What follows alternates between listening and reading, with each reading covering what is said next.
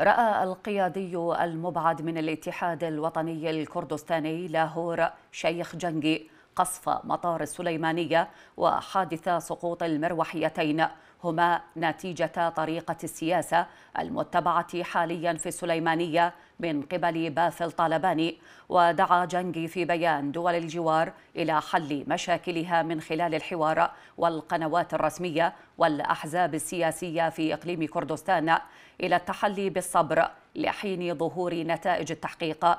رافضا أن يدفع الشعب الكردي ثمن أخطاء وعناد السياسيين وسوء استخدام السلطة والتصرفات غير العقلانية وأن يثاروا بشعارات وطنية كردية مزيفة.